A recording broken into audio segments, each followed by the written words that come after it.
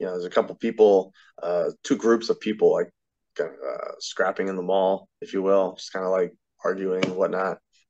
And um, you know, the dude's fighting another dude, and the one of the guy's friends comes up and tries to tries to just go for the guy. He uh, the, the this much much smaller guy just pulls out a knife, does the boom like a stabbing motion right to the side of the neck. It's so quick you have to literally um, go to like quarter speed to even see it. It was that quick. This guy was really really quick.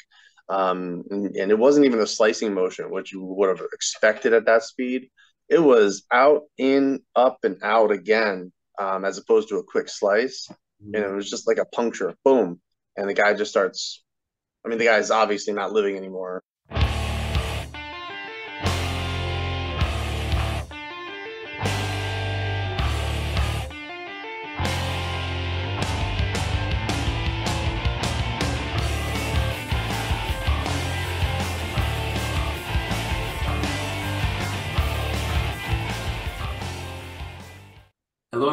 Welcome back to Conversations from the Hearth. Today, we are joined again by Sensei Ramsey Veitch from Impulse Martial Arts out in Easton, Pennsylvania. Sensei Veitch, thanks for coming back on the show. Thanks for having me. Appreciate it. Yeah, it's a pleasure to have you on. So, uh, last time you were on, we talked about a lot of things, but one thing we didn't talk too much about is weapons. And I thought that might be a, a great topic for today's discussion. So, can you start out by telling us a little bit about your background with weapons um, to get us started? Yeah, sure, absolutely. Thank you. Um, so uh, um, I've dealt with a lot of weapons uh, in my, in my 20 years of training. Um, we've done everything from um, so classically in the martial arts, uh, we did everything from the hanbo, um, which is more like the three foot, two to three foot staff, um, tanbo, which is like a, um, you know, like like a one foot stick, if you will. Um, jo staff, bow staff, um, uh, a lot of samurai sword, katana training, um, and then uh, uh, we dealt with the the other classical weapons such as sai and kama, you know, uh, nunchaku, but um, didn't really concentrate on those too much. Um, but we could talk about that a little bit. Uh, tonfa. So some of those um, um, uh, Okinawan weapons that that uh, most people don't um, train regularly in the in the arts that I that I usually do. Um, just a reminder: the arts that I uh, was formerly trained in was uh, Aikido, uh, Kempo, uh, Japanese Jiu-Jitsu and Judo, um, as well as just straight up Samurai Sword, Iai, and Kenjutsu. Sure. Sir. So that's a, that's a very widespread and probably helps you understand the nuances between the different weapons and different ways to use them. Uh, was there a, a, kind of uniformity in approach amongst all those different disciplines, or was there some variance? Yeah. Um, so, what I've discovered actually uh, with weapons training in general um, was that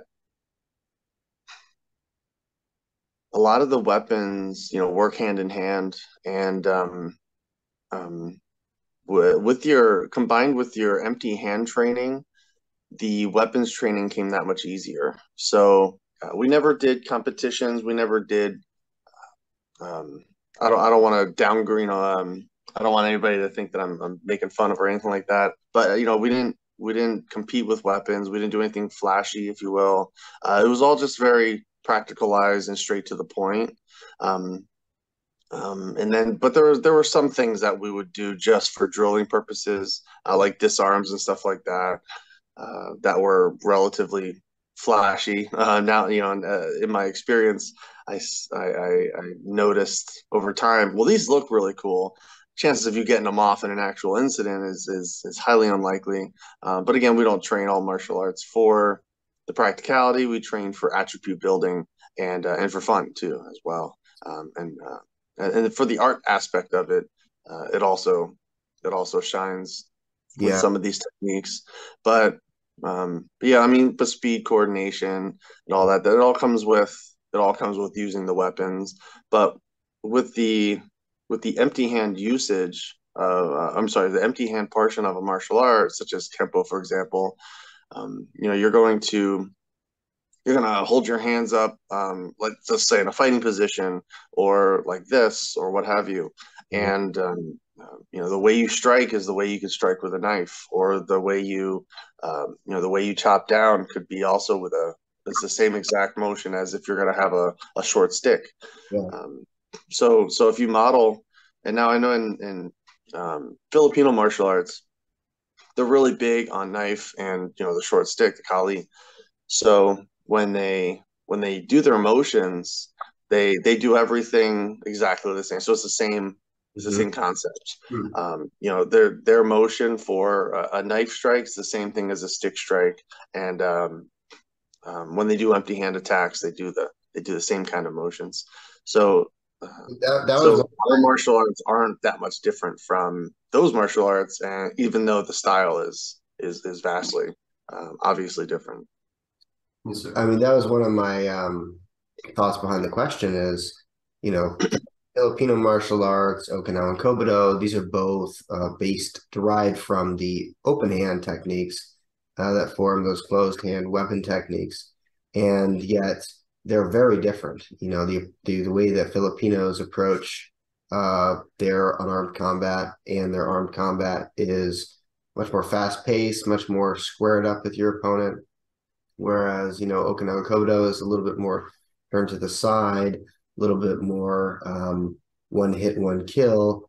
And I'm not saying one is worse than the other. They're just very different. So when I when I hear, you know, I did Aikido and I did jujitsu and I did, you know, Kempo, the way that you fight in these arts is quite different. And I wonder if that would affect the way that you would use the weapon, you know, much the same as the difference between Okinawan Kobudo and, you know, Filipino martial arts.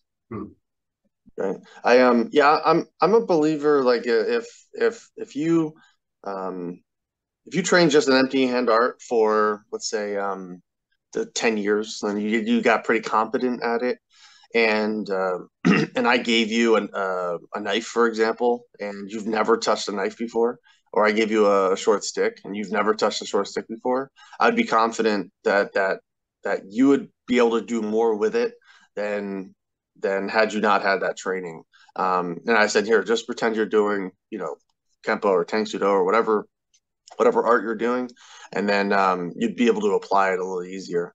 Um, with, with, that said, though, uh, weapons do have other uh, um, uh, techniques to them that aren't present in in empty hand attacks, right? So uh, there's things that you would do, let's say with a samurai sword, that you would never do empty hand. There's no empty hand equivalent, mm-hmm. and um, uh, that's just because we're utilizing the blade.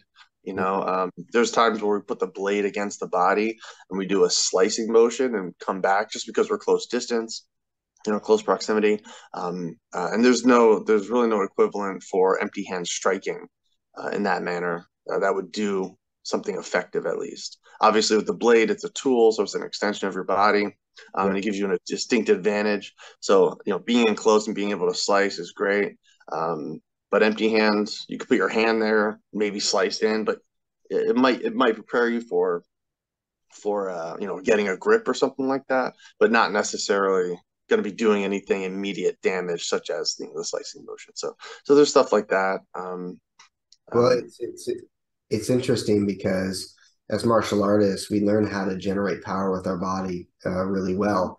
And so, like, I'll you know go work with my friend, like chopping wood, and I'll like I, I actually this has just happened to me fairly recently. You know, some years back, I went to start chopping wood with my brother up in our cabin in Vermont, and I'm like a chopping master, even though I've never really chopped that much wood, just because right. I know how to like generate a lot of power with my my body, and, and like I'm like a master shoveler, you know, because I know how to generate power with my body, and um, but there's certain kinds of power that is not so transferable. Like for example, the slicing motion of a sword is a little bit different than the chopping motion of an axe, and you don't really slice. I mean, we call it knife hand, but we don't really slice with it, you know. And so that right, right. slicing motion is a little bit different biomechanic. Um, so you like just agreeing with what you're saying. Like, there's definitely some things that transfer, and then there's some things that are sort of unique aspects um, that you can only learn if you actually pick up that weapon. Yeah, hundred percent. Yeah, I, am glad you mentioned the axe thing. Um, I've never chopped wood myself. Uh, I live in Pennsylvania, but uh, not in a rural area, so I don't I don't chop wood regularly uh, or at all. Um, but the uh, I went to a uh, what's it called? Just a like a like an amusement park, and they had one of those big things, you know, with the hammer, and you have to bing, you know. And um, uh, I was like, I've never done this before, ever. But yeah. you know what? I've been like, this was just maybe like you know three or four years ago, and I've never done it before. And I was like, you know what? I, am pretty sure I can do this. Let's do it. You know, I'm I'm a big guy. I'm six three. I can I can do this. Um, so I went up to it and and just put everything I had, every martial arts training bit that I possibly had, whether it was up and down sword you know, some of the some of the weapons you use, like naginata and bow, they're so long that you have to use different leverages with yeah. your hands and everything. You know what I mean? The longer the weapon, the the different your grips have to be, and the way you have to move your body. But so I just picked this thing up, and it's very bulky and top heavy, or just it's not very uh very um efficient to use. But you know, I pick it up and I just put my whole body into it. I jump, I use my hips, I crunch, I I jump, I do everything, and I just I just smash the crap out of it. And um, and I, I, did pretty well. I did pretty well. I did win. Um, but there are times where I've tried it again and you hit it, you're off just a little bit, just a little bit, and it doesn't register, and you just feel like, oh, wow, hold on a second, hold on a second. How, how did I mess that one up? Like, I hit that thing so hard because you were off just a little bit. It know, happens.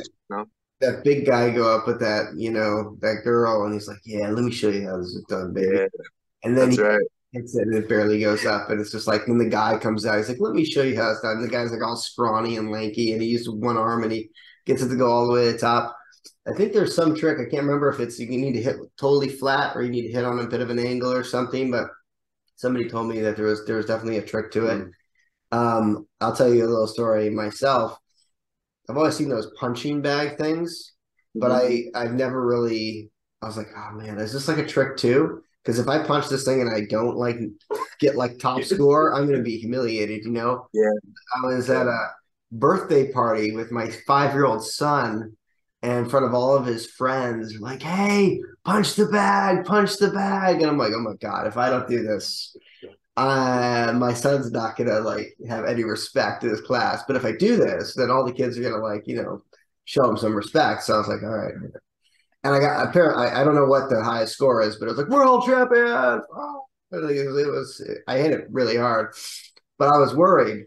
I was worried that like it, it wouldn't work and I'd be humiliated. Yeah. So what'd you end up getting? I'm curious. I can't remember. I can't remember what the score was. If there was a score, it just said like world champion. Blah, blah, blah. So like oh, some, okay. some wasn't like a pressure per square inch type thing like I some of the it, like it, it, sort of like mocks you. So if you if you hit it low it'd be like you know you weakling or blah blah blah. Yeah right right. Really, really grandiose like that. I can't remember. Um, and, and again yeah i i've seen i've seen uh, social media videos where where people do that. And some some people as small as like like a maybe a, a smaller looking female um will just whack it really really hard and get like a super high score. And you're like okay you know, I'll make you a sandwich, no problem. You know, and then um, you know, uh, and, and some, some, some big guy goes up and he hits it, and it's like woo, and uh, you're like, okay, well, obviously she has great technique. She's very good at what she does, and he probably never even hit a bag before. You know. Yeah.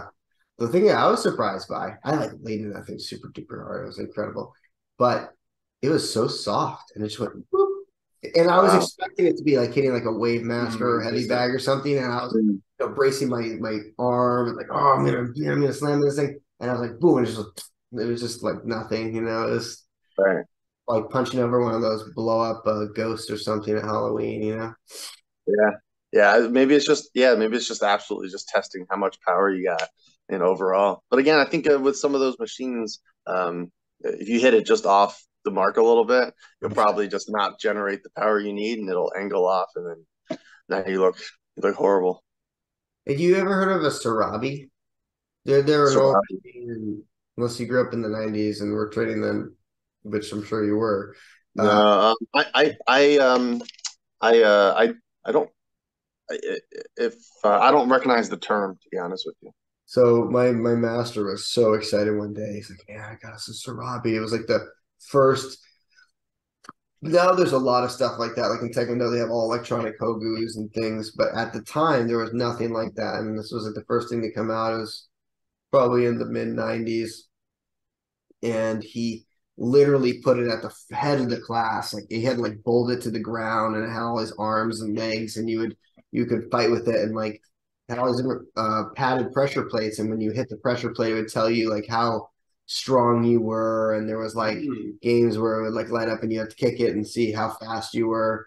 And uh, that was a lot of fun. And I ended up doing very well. I can't remember what my score was, but I was like, besides my master, I was second place in the school. So I felt real. That sounds great.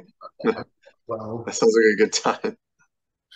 Cool. Um, yeah. Anyway, so with the with the weapons, um, um, one one thing that that we've uh, trained um, uh, during during my time has been uh, you know knife and uh, like short blades. What um uh, what I wanted to say about knives is uh, um, I, I'm I'm a firm believer that that because knives are so realistic and so common in the world today, um, I, I think just as much as the swords were back in feudal Japan. Mm-hmm. Um, um, maybe they weren't as common as we think, but uh, but uh, for where they would want to train them and uh, you know work disarms and stuff like that. Again, some of the disarms we we work on aren't 100% practical, and I realize that being more experienced. I say, you know what, you'll never get in this situation, but it teaches you this, teaches you that. Mm-hmm. So um, I, I like taking it for what it is. However, um, and it looks really cool sometimes. But with knife training, uh, one one aspect that I've always noticed is is with knives being so prevalent in society today, I am now um, um, uh, somebody who teaches knife only in the most practical aspect because it's such a real thing, mm-hmm. and um, I think that if you're going to train knife any kind of a knife attack, any kind of knife um, defense specifically, it should be in probably the most real manner. Um, and this is and this is also why uh, it's such a small weapon. It can be really small here. It could be a nice big long, you know, um, uh, machete type knife, right?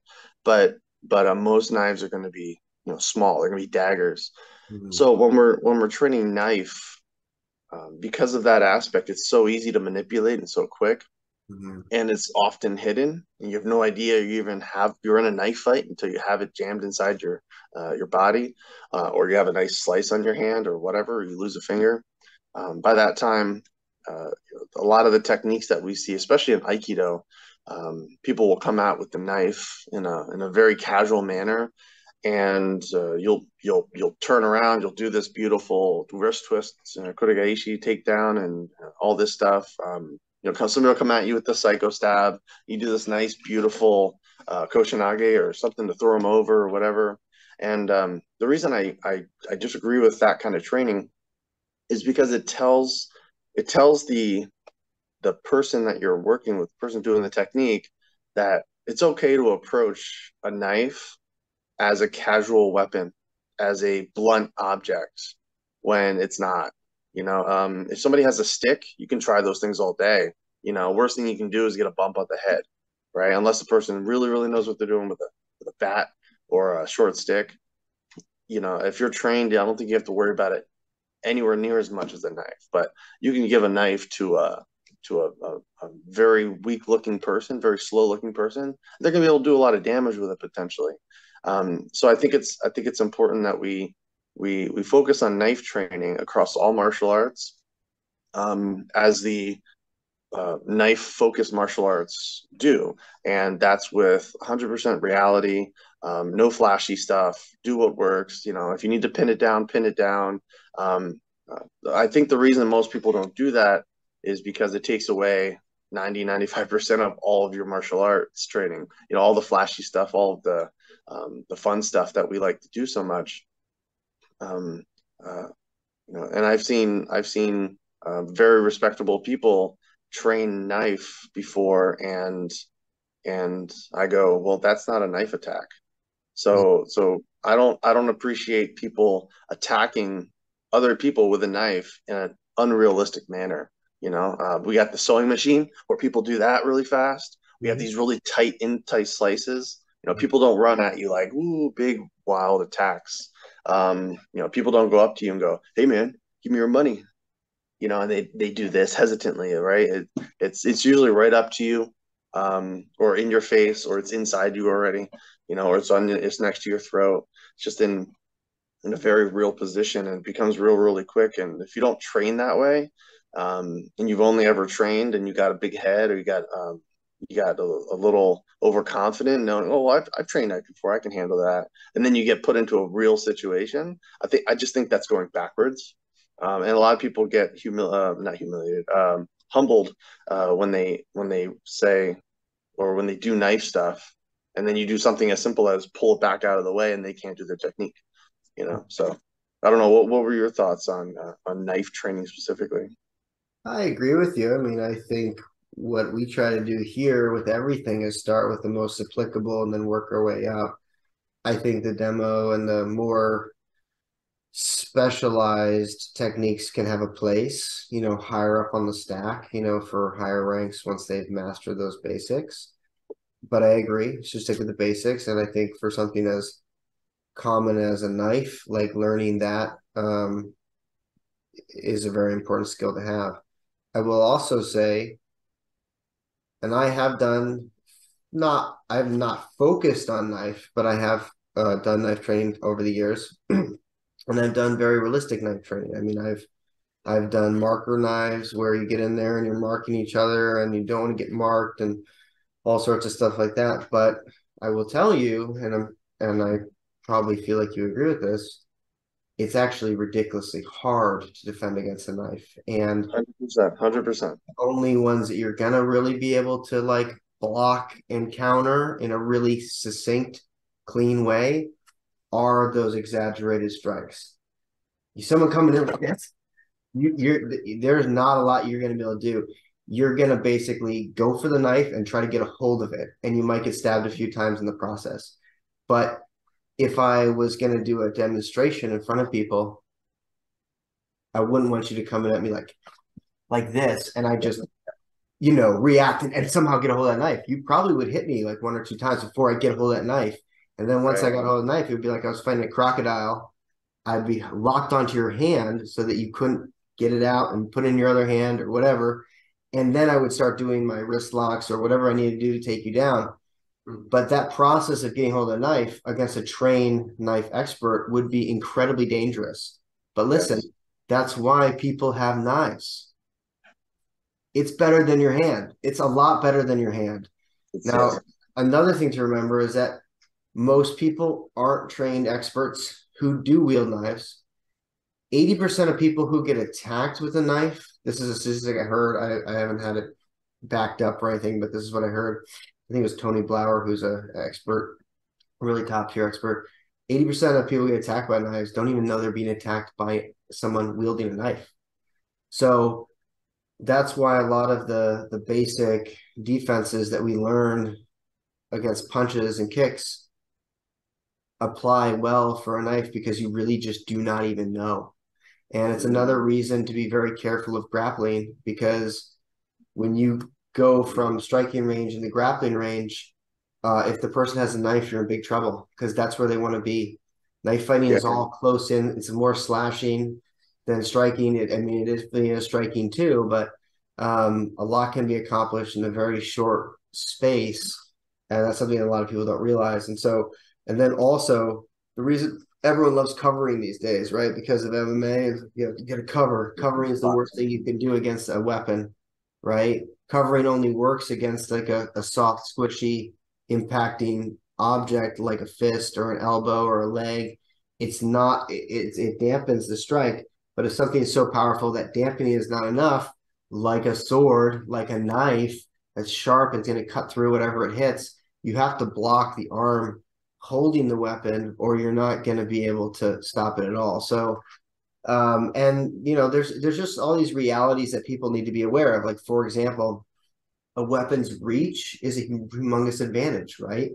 And you can't for some weapons, like maybe like a bow or an eskrima, you might be able to actually get a hold of the weapon with your hand. But for most, you have to go inside the, the range of the weapon and get to the arm and or, or the wrist or whatever.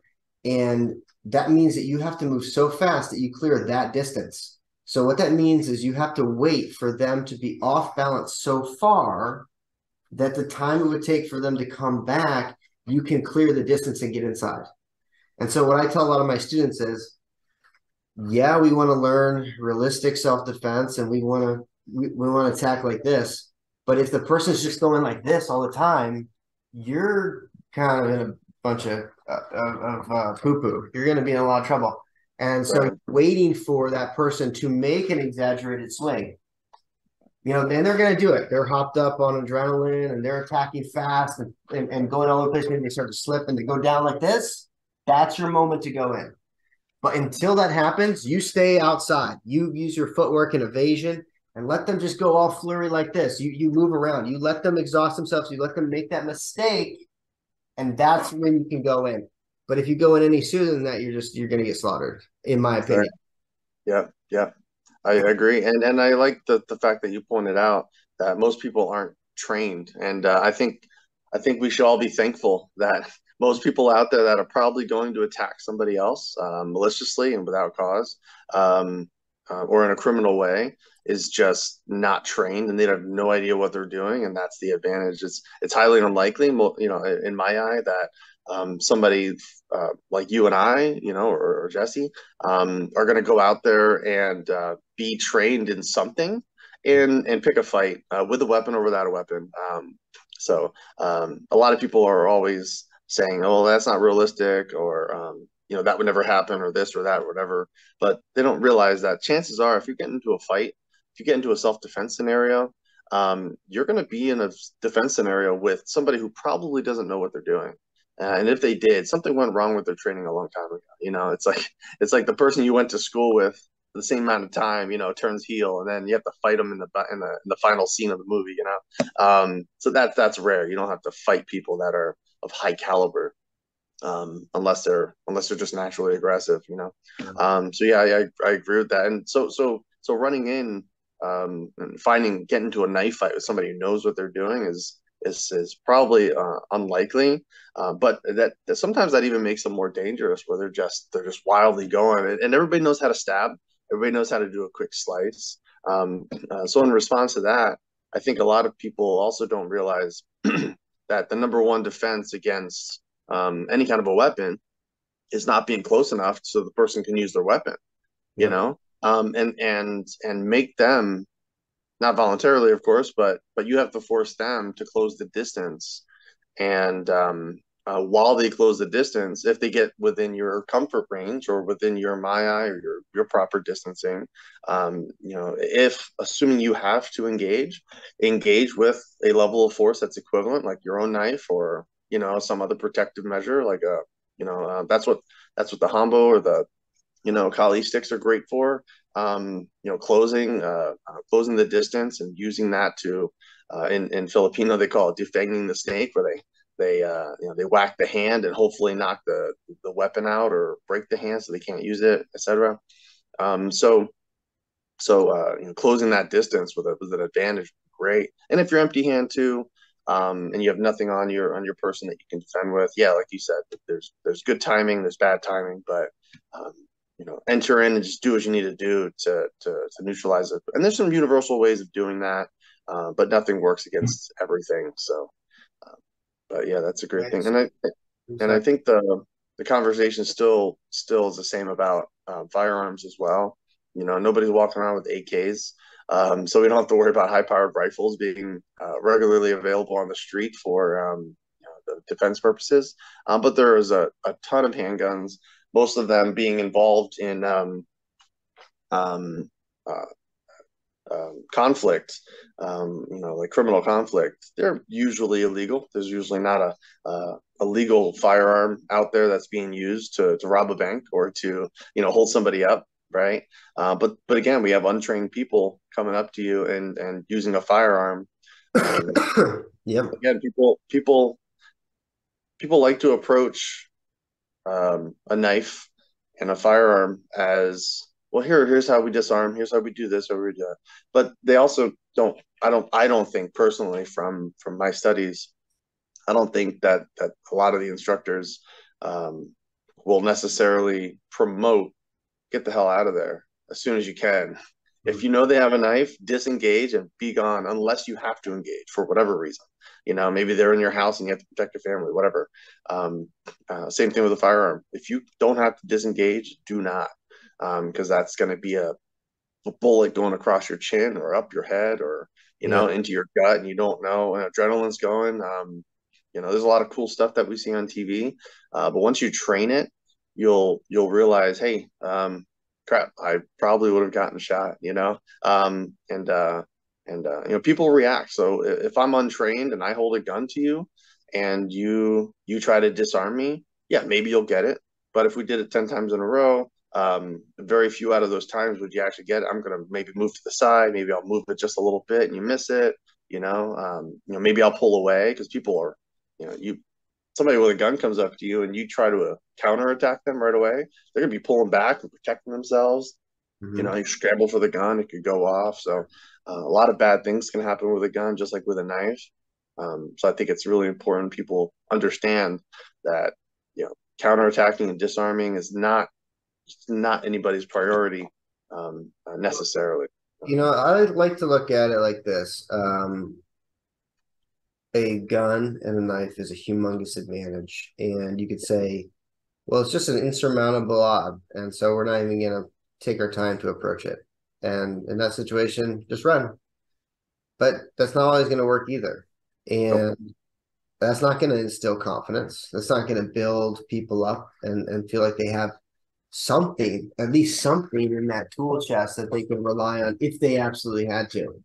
Absolutely. There's been so many uh so much mistrust in the martial arts community and it's been highlighted by a few eccentrics who are probably just super delusional and couldn't fight their way out of a paper bag and they get posted up on YouTube or something and so they're they're like the guy's got the gun and they're all like doing some little dance and then they like do this little thing and and everyone says oh yeah that guy would have been dead you know like in one second and that's totally true. But we I don't know what you're talking about and so a lot of people think that that's how all the schools are out there and that's how they're all doing their gun and knife defenses. I'll tell you i've been to over 30 martial arts schools growing up in martial arts before i even became a uh, like a school owner and, and was networking and meeting you know hundreds and hundreds of maybe thousands of martial artists all over not just america but it back in korea. And no one teaches like that. Nobody.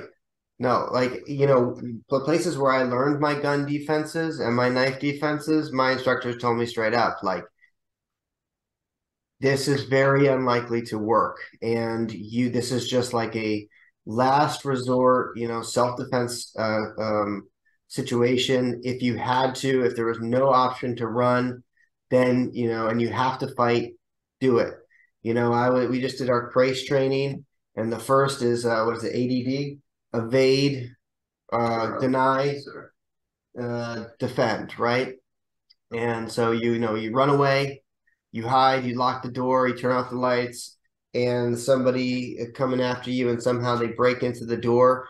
That's when you grab you grab the gun and you wrestle it from them. Okay, that's the situation we're talking about. We're talking about at the very very end. There's nothing else to do. There's nowhere to go, and you can't just give them the money and expect them to leave. That's when you're going to use these skills, and it's like, okay, I I have spent a lot of time learning grappling, and after 20 years of studying grappling, um, all sorts of disciplines, hapkido, judo, jiu-jitsu, there are positions that and things you can put me in that I'm like, hmm, yeah, I tap. there's nothing I can really do. There's nothing really I can really do. Once you get that that far in and you're in that position, I'm going to tap. And I'll tell you what, that's why all the experienced grapplers, when you get the armbar locked out and it's in the perfect position and everything's lined up and your knees are in, they just tap. They don't wait for it to go snap. They tap. But all the white belts, they they're, all locked out and, they're, and then they don't tap and then they go, "Oh, you hurt me!" Like, yeah. Yeah I, I know exactly what you're talking about. you know, yeah. five seconds before, right? And so Mhm. there are things that you are beyond your ability. But even in those situations, there are things you can try.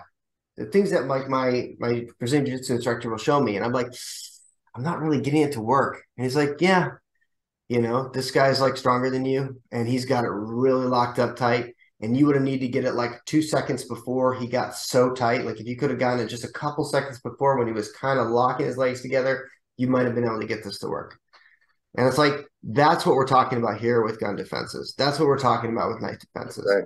We're talking right. about those, those small windows of opportunity that you're going to have to maximally exploit in order to get a hold of that weapon and disarm that person. And that's just the big fallacy of the martial arts in general. You know, you get these. I don't want to insult anybody here, but I feel like people need to be honest with themselves. You get these people who come in that are out of shape and overweight, very small, and they expect to take out these jacked, in shape men who are like six foot five. And it's like, you're just out of touch. You're just totally out of touch with reality, guys. There mm-hmm. are limits. You know, a lot of fighting is mental and a lot of fighting is fitness. And then there's some skill in there. But if I put the skill in the wedge, it might be like 30%. Okay. And with that 30%, if you're really good at this, you can kind of expand it out. You know, you can expand it out so that you can beat people who are a lot bigger and stronger than you.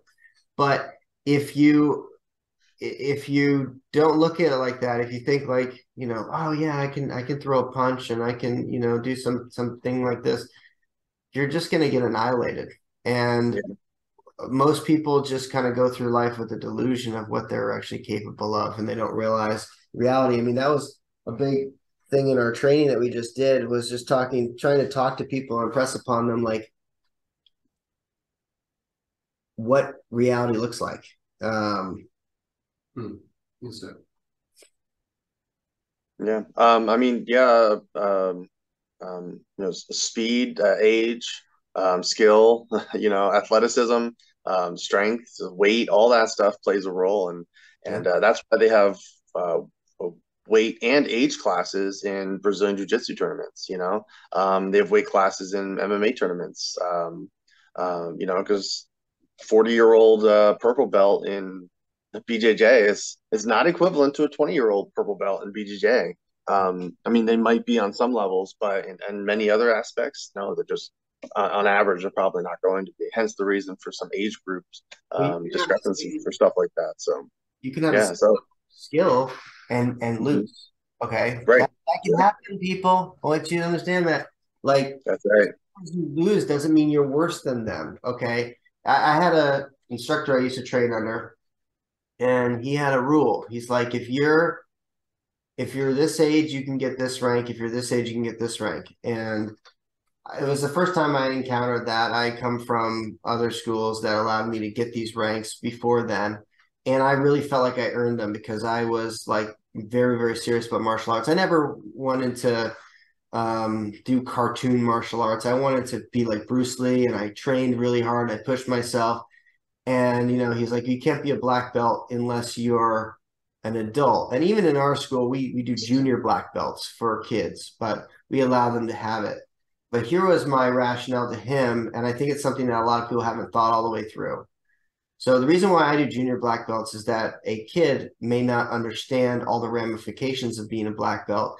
And it seems a little a little um, premature to be calling them Mr. So and so when they're like 12 years old.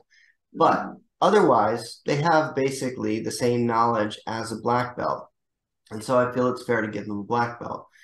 But in a lot of schools that say you can't get a black belt, um, their rationale as well, they're just not, they're not physically, you know, uh, badass enough to earn that rank. And I say, okay, so are you saying that if you're a a woman, you can only get this high, and if you're a man, you can get this high? Because the woman's maximum potential is lower than a man's. And if you're this tall, your maximum potential is lower than if you're this tall. And if you're this strong, it's lower than this person. And if you actually start looking at things like that, what is your maximum potential? Then you're gonna have to start ranking like everybody as like yellow and green belts, you know, um, mm-hmm. because a lot of people are small. A lot of people are, are women who are coming to our schools and looking for martial arts training. And for me, rank is about knowledge, okay, and ability. If they if they can throw a good punch and they know a lot of techniques and they have had a lot of experience on the mats, that's what qualifies them for getting that rank. And they can have all those things. And then they get out there and they're fighting a guy who's six five and his leg is like as long as their entire body. And as they go in every single time they get hit by the leg and they can't get through it, you know, that has a huge advantage. That is just innately has a huge advantage. And that doesn't mean that, you know, Jesse who's six five gets to be a black belt while the the five foot, you know, lady over here, she can only get her green belt or whatever it might be. Um so I, I you know, Yeah, so so when we throw that in with weapons, I mean, um, you know, now now uh, now we can take some of that disadvantage away. You know, so um, yeah, I, I've seen I've seen um, uh, there's this one video that's out there. Uh, I don't know how you can find it. Uh, I don't think it's on YouTube anymore, but it was pretty graphic. Um, it looked like it was in like South America somewhere. I don't know if it's Brazil or whatever. Anyways, um, you know, there's a couple people, uh, two groups of people like uh, scrapping in the mall, if you will, just kind of like arguing and whatnot. And um, you know, the dude's fighting another dude, and the one of the guy's friends comes up and tries to tries to just go for the guy. He uh, the, the this much much smaller guy just pulls out a knife, does the boom like a stabbing motion right to the side of the neck. And so quick, you have to literally um, go to like quarter speed to even see it. It was that quick. This guy was really, really quick. Um, and, and it wasn't even a slicing motion, which you would have expected at that speed. It was out, in, up, and out again, um, as opposed to a quick slice. Mm-hmm. And it was just like a puncture, boom. And the guy just starts. I mean, the guy's obviously not living anymore. Um, you know, and he's, he's just he's he's squirting out of his neck. His carotid is probably severed. The guy's done um, and he doesn't know what's going on. But but watching a video like that just opens up your eyes as to how quick a knife attack can happen. And then you know that I mean that guy could have theoretically been you know more experienced than you and I combined, and it wouldn't have done him anything. You know, um, yeah. had he just kept his distance and not approached. Um, the other thing is, I think he actually knew he had a knife. I think the knife was obviously readily visible. Um, but but either way, so in that instance, don't approach somebody with a knife unless you have to. Maybe it's your job. Maybe you need to take them down for some other reason. Um, but but if you're going to approach somebody with another weapon, um, use an equalizer uh, that is of, of similar force. You know, if they have a knife, at least grab a knife. You know, unless you know how to use a baton. Um, you know, if they have a gun, you should have a gun as well. Uh, that would be really good. um, so with gun training as well, um, you know, that there's there's not a lot of really good gun training out there, and I think I think gun training is uh, important for anybody who wants to to learn how to or who's going to carry a gun. And um, the concealed or even just any kind of a gun operation courses that I've come across, they're just so subpar and just impractical. Um, they teach you how to shoot. Uh, I don't know. Do you do you, uh, do you carry or do you shoot uh, regularly at all? I mean, I have guns and I do shoot them, but I don't. Um, I wouldn't like. I don't go like every week to the range or something. And... Oh, sure, yeah, yeah. So you know, I mean, the courses that are out there, you know, it's it's it, you know, you pull out your gun, you do your you do your isosceles stance. You know, maybe even they even teach you how to quote unquote move and shoot and they advertise these things like it's um, what do they call it? Uh, um, like self def like I don't know, like self defense firearms training or something like that, like how to use it defensively. Mm-hmm. And for lack of better terms, it's it's bullshit, you know. Um, and the reason is uh, because if you're going to be in a gun, like if you want to, if you see a, I don't know, somebody's in your house and you want to approach them, you know, with your firearm and you Oh, I think we lost you, sir. We lost the audio. audio. Everybody's calling me. Um, uh, you could probably use it in that instance. But but but other than that, can you guys still see me? You're frozen on the screen. We can hear your voice.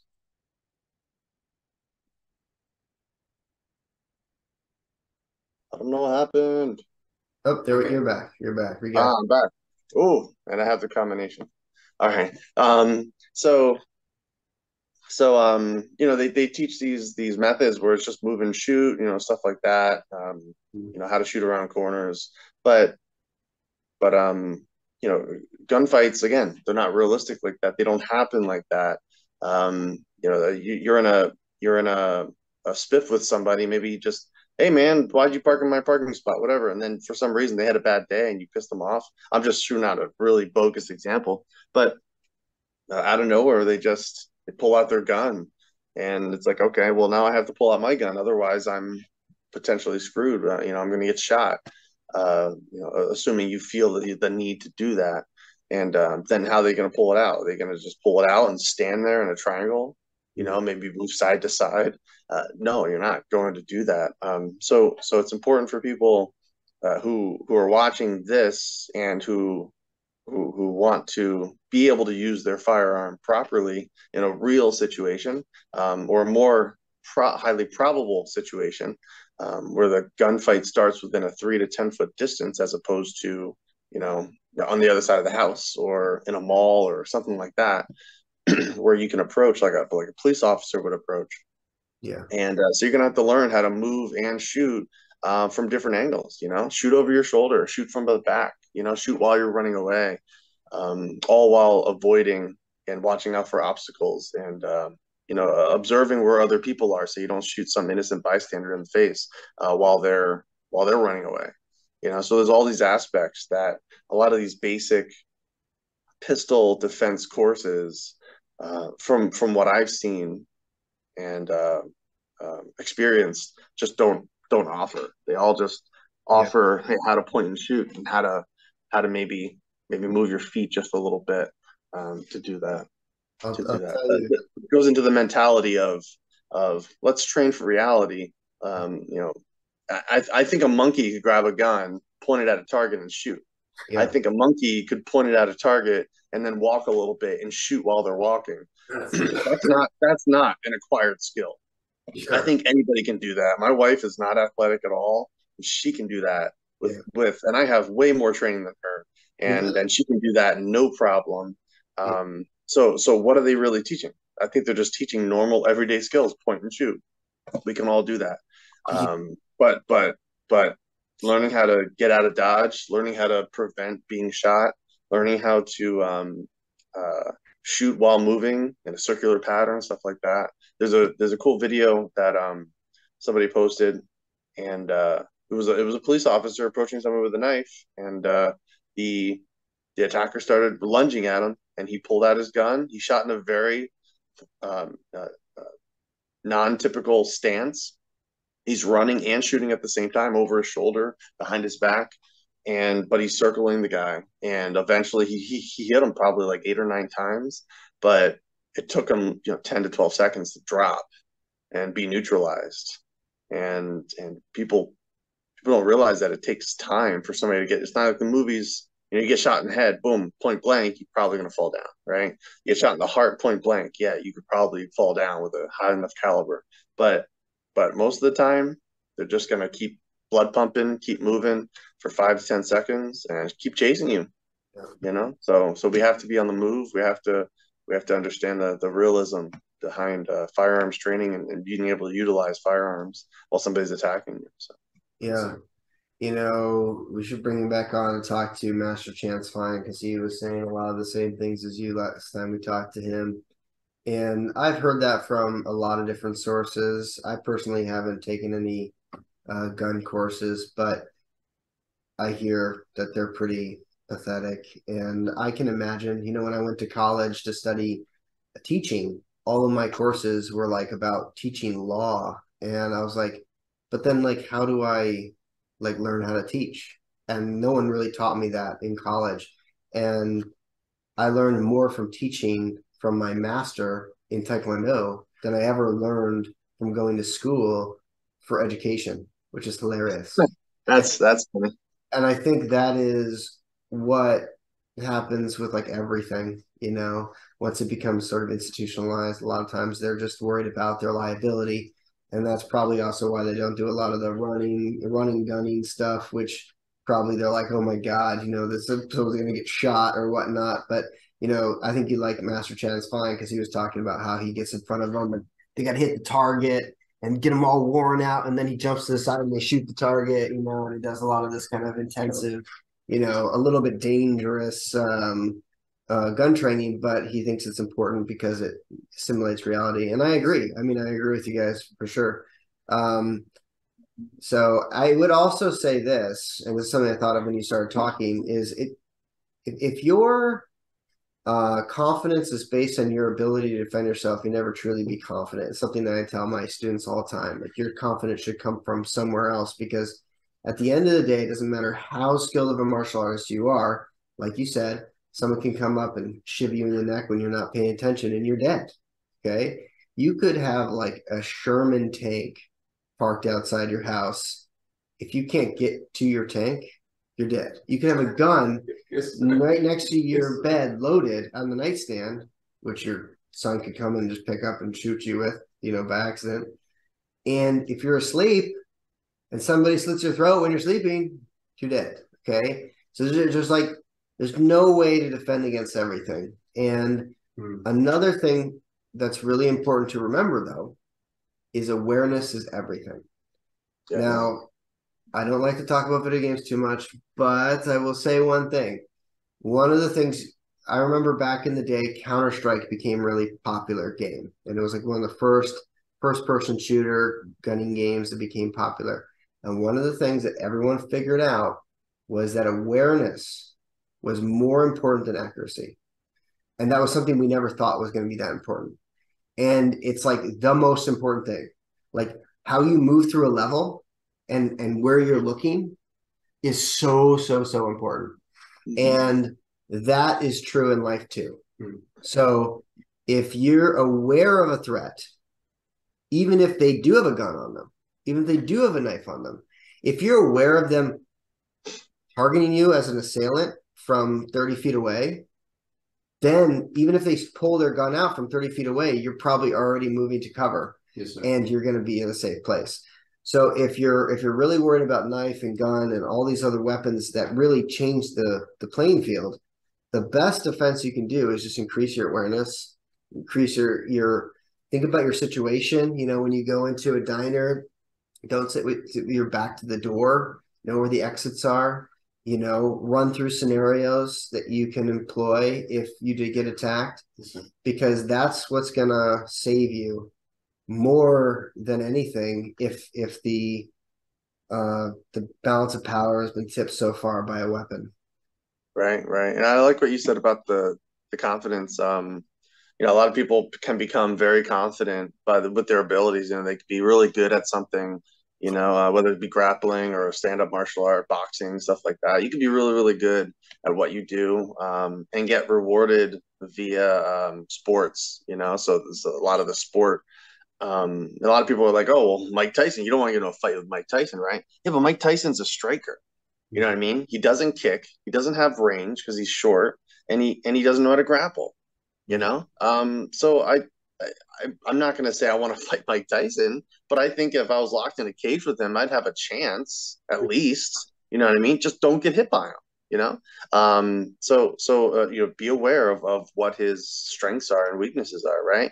And um, and but same thing, like uh, you know, we never want to get overconfident and say, you know what, I've trained knife, I've trained gun, I've trained baton, mm-hmm. I know what to do, I'm going to do it. Um, that's a different that's a whole different story. Um, uh, you could be really, really trained and, and, and confident like that. Uh, but even even the most skilled practitioners that I know, they all say the same thing, like you had mentioned, like, like you're like they're really good. People you do not want to mess with uh, from any aspect. And same thing, like just get out, just don't be there. Um, use your awareness. Uh, um, try to avoid the situation at all costs. And I've I've learned from that. I, I like to tell, sorry. I like to tell people match match power for power. If someone comes at you with a punch, you know, defend yourself with your hands and your feet. if someone comes at you with a weapon, evade, retreat, get your gun, and shoot them in the head. I mean, like you don't, you know, like that's what you know, match their power. If they come at you with a knife, evade, pick up a chair, use a chair. You know, mm-hmm. There's there's a lot of weapons all around you that you never even think about that you can use to defend yourself, and um, you know, use those. Just really quick, touching back on that uh, that confidence thing. Uh, you know, being really good doesn't mean that you're you're you should necessarily just run head into a situation. Um, and you, so this is all about mentality, right? So mentality for a knife or a gun situation, we're talking self defense, right? So if something's going to happen instinctually, that's going to be way more self defense oriented than um, had you be able to back up. You have the opportunity to run away, um, or at least clear distance, and then you have to think, okay, you know what? I can run away, but I'm going to attack this guy anyways. That is what I consider confidence. Um, um, you know, being being overconfident and saying, you know what, I, I I'm going to base my approach on all my training, and then that's I think that's going to set you up for failure um, because you're going to say, okay, well, my training involves this kind of attack, this kind of attack, this kind of attack. No matter how much you train any one attack or any any combination of moves, chances are in a self-defense situation somebody's going to give you something you've never seen before um, and then and then you might just run into a problem and then but once you're cut or shot you're you're you're not going to be doing too well um, because you were a little overconfident but if you're if you're stuck moving backwards and you're stuck in a room like i'm in a small office um, and you know it's between me and the door and i have to get to him well yeah i'm going to grab a chair you know, I'm gonna run into the wall. I'm gonna, you know, um, throw a, throw a keyboard at him. You know, um, you know, I'll I'll use whatever I can. You know, I'll take my shoe off and put it on my hand and start defending my hand from a knife attack or whatever. Uh, so, so yeah, we don't we don't want to go head in on a on a self defense scenario if we if we can help it for sure. So yeah. mentality is mentality is key when you're when you're defending versus fighting. Yeah. Another thing on that same line to remember is um, as long as your confidence comes from some place that's beyond your physical ability, you'll have confidence to do what you need to do in a difficult situation. And yeah.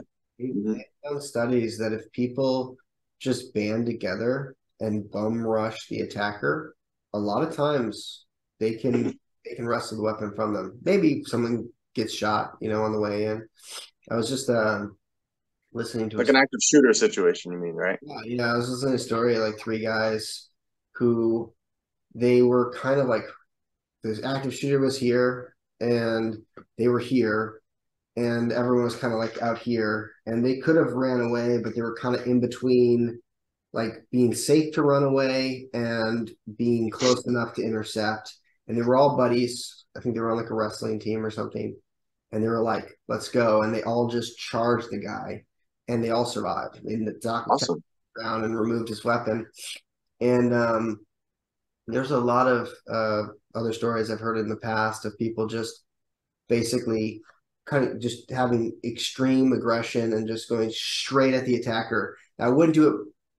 I wouldn't do it just one person unless you were trying to save your family or somebody, and it was like the only way to do that and I'm certainly willing to take that that uh that risk for my family. But you know, if you had superior numbers, uh, a few good people can do a lot. And one of the main reasons why everyone gets murdered by a mass shooter is that everyone's just terrified and no one's willing to actually confront them in an intelligent way. Um, Which is tough. Yeah. Yeah. Because if you have 16 people in a crowd and all 16 people just ran at the shooter, he might kill a few people, but you would eventually overwhelm him and take his weapon away from him. Um, but the problem is that everyone's out for themselves, and so everyone just runs away. And that's why yeah. military we we teach that discipline uh, to do brave things as a team, uh, because when it's if it's you know every man for himself, it just leads to chaos and people getting murdered. Yeah, it's all unfortunate, and um, you know, yeah, having having the confidence to to approach. And it sounds like you're um, your story you're talking about the three wrestling buddies um, they they they like you said they they had the opportunity to get away but it was potentially in the line of fire so they thought the best way to get through and over this whole scenario was to attack so it doesn't sound like they attacked willingly but in in a self-defense mentality meaning we have to do this we have no choice you know what i mean um, as opposed to playing hero right as opposed to saying oh you know what let's go save let's go save everybody um, and going in with with overconfidence and trying to to do the stuff that you see on movies all the time you know so so that I'm glad that really worked out for sure. Um, that, that happened with the airliner, though. You know, that was going to crash into the Pentagon, right during 9/11. Those those guys mm-hmm. Rushed the cockpit. I mean, can you imagine like the, that tiny little alleyway? yeah, I know, I know. That's just I know. you know, right.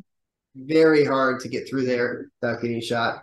And they rushed in there and they mm-hmm. uh, crashed that plane so that they didn't kill a bunch of people. Right and and and the last thing I wanted to, to, to talk about was was stress inoculation. You know, um, you know, uh, you know, knowing that there's a sharp blade coming at you, knowing that there's a firearm, that's like maximum stress uh, for anybody. You know, no matter how skilled and experienced you are, that is stress. And um, uh, training in a way that uh, um, exposes you to that kind of stress and just gets you more comfortable being in that stress. Hence the reason for um, you know ground grappling. It puts you in an extreme state of stress, and you have to operate. So you can practice all you want, but then once somebody actually starts coming at you full bore, you know now it's going to hit you, and your your your uh, brain's going to shut down and go, oh, crap! Now I don't really know what to do. I forgot all my training. You know, so we need that little bit of stress inoculation to to reinforce uh, you know all of the stuff that we're learning make sure that it's written in in our subconscious as opposed to just in our frontal cortex. And we're just like constantly thinking about what to do next. We want to we want to act in a way that that is more natural. So so in the in that plane scenario for example yeah it's a small little aisle but i mean they uh, i think i think the reports were like all they had was box cutters you know? And box cutters i mean super razor sharp right? They're using razors but but I mean, that's that's nothing compared to some of the weaponry we see out there, right? It wasn't a rifle, it wasn't it wasn't anything big, but but that shows you know, hun- uh, over 100 people, 150 people, whoever was on that airliner, only a, only a couple had the um, had the audacity to be able to do anything about it. Uh, maybe from prior training, maybe it was an air marshal, maybe there was something going on there, but and you need to overcome that in some aspects. Um, and they did thankfully uh, they were able to do something. Yeah. But most most other people they they just don't know what to do. And and even if they did they might be overcome with with the stress you know? And and, and somebody like you and i we might see a box cutter as like oh okay well you're, you're trying to hijack this plane with me and my family on it and you have a box cutter? That's all you got you're going to need a lot more than that. Um, and uh, and then you know, uh, but then again, I'm six three, you know, um, and I, um, you guys are pretty big as well. So uh, you know, um, you know, so I, I I'm I'm taller and bigger than average, and I'm pretty confident that if we're in a small aisle and you're depending on a box cutter to save your life, I'm I'm pretty sure I have a more of an advantage. You know, I'm, I'm going to do some bad things uh, uh, to you to to in order to to, to save me and my family who's on that plane. Um, of course, I'm thinking about it in retrospect. Back in 2001, I was 17 with no training. You know, I did backyard wrestling. That's about it. you know, so so it wasn't like I was very um thing. But over time, uh, we grow as martial artists. Mm-hmm. We gain certain levels of confidence and uh, sense of reality, and we understand that that weapons training is super important. Um, and if you've never done weapons training, uh, we we highly recommend it just because um, you know your uh, your grappling experience, your wrestling, your uh, you know your karate, your Tang Soo Do, whatever it is, and you've never touched a weapon before or had a weapon thrusted at you in any kind of a real scenario, uh, it's going to really change your day. You know, so um, sure. it just changes everything. You know, weapons and grappling especially. You know, we have to adjust our mindset super quick and all that flashy stuff that people do on the ground um, that I, I I commend them on because they're just so good at it. All that goes out the window the moment I pull out a knife on you, you know, and it's it's really unfortunate. So you have to you have to take me out pretty quickly. Um, but then again, I'm trained as well, so it's not like you know. Um, but but you don't want to be in that situation where the guy pulls a knife out and stabs you while you're trying to get a choke on. Mm-hmm. Uh, so yeah, it's just uh, uh, we we just have to understand that that's a realistic possibility and and to expect that, and then we have to know roughly what to do grossly um, if if we're presented with that. Yep. So. Yep. Yes, sir. I mean, yeah, I totally agree. Diversity in training is very important. I don't know who said it, moder all things in moderation or something. But I feel like that's so true with life, with everything in life. But it's also true with martial arts. You know, you you have to know a little bit about everything to really be able to defend yourself. Um, and you know, you can have. I mean, I don't know what. You can have a great grappler, you know, and a lot of those guys they've never been punched in the face. They've never incorporated punching into their grappling they don't realize that in the early days of no holds barred fighting, a lot of people were losing to testicles getting squeezed and eyes getting gouged out, and there's a lot of striking and, and you know potentially stabbing with a knife and all this kind of stuff that can happen in that grappling confine uh, that really changes the dynamic of how you fight and what you can do. And so it's important to mix things up and to uh, have those different experiences. Absolutely. Right, right. Yeah, yeah. That's, that's why I also recommend that people who do sport um, sport arts like like Brazilian Jiu Jitsu um, uh, to to explore traditional Japanese Jiu Jitsu or um, you know uh, MMA or something something that's a little more to the point. Uh, you know, in, in traditional Jiu Jitsu, Japanese Jiu Jitsu, um, the the the focus is to yeah we want to grapple we want to learn how to do throws you know we want to learn how to do all that fun stuff. But the end goal of jujitsu was to take the opponent down so that we can take them out not not to uh, not to just choke out on the ground or do an armbar you never even though we, we learn how to do that we don't we don't do that as often. Um, you know, we, we use strikes in the middle of a grapple. We'll we'll use um, chokes and um, locks that aren't readily seen in Brazilian Jiu Jitsu competition. And the reason you don't see them is because people are going to lose fingers. You know, they're gonna they're gonna they're gonna have a thumb jammed behind their you know their um you know their their uh, their trachea. They're gonna have um um you know eyes you know eyes gouged like you said. You know, even incidentally that happened to me. Um, you know, about 12 years ago with my guy who actually teaches me Brazilian Jiu Jitsu now because we kind of switched schools. And um, uh, you know, we were grappling way back then, and he jammed me in the eye, and that that works. I mean, he I let go real quick. I got you know it was it was it was incidental, but um, yeah, but yeah, I let go real quick, and um, um, uh, and it's just important for people to understand that the game changes when the rules change. Yeah. So if you're not used to getting hit, you know, approach that in your training, just so you know. Look, this person might get a hit off me. I need to know how it feels, or I need to know what to expect, um, you know, just from that kind of mentality. Because not everybody wants to roll the way that you roll at school. You know, not everybody's going to play nice, if you will. You know, and um, you don't have to worry about somebody breaking your arm. You don't have to worry about somebody cutting you in class. You don't have to worry about somebody shooting you in class. You don't have to worry about somebody hitting you with a stick in class or kicking you really, really hard in class. But you have to worry about all that in the street. So we need to keep a realistic expectation of our training across the board, you know, like you said, you know, with um, diversity. Um, and that goes with stress inoculation too, you know, the, the fear that that comes along with with that stress for sure. Yes, sir. Yeah, we can keep talking. I got yes, sir. Yes, sir. But yeah, yeah, yeah. I, I appreciate you guys. Yeah, for sure. Yeah, thank you so much for coming on, sir. Always a pleasure. Thank you. Yeah, much appreciated. And um, we'll have to have you back on sometime talk some, about something else. Of yes, course, sir. no problem. Absolutely. Yeah. Take care, sir. Thank you, guys. If you enjoyed that podcast, please consider liking and subscribing to our YouTube channel, as well as hitting the notification bell. We offer in person, group, and private lessons at our facility in Kyle, Texas, as well as virtual lessons anywhere in the world.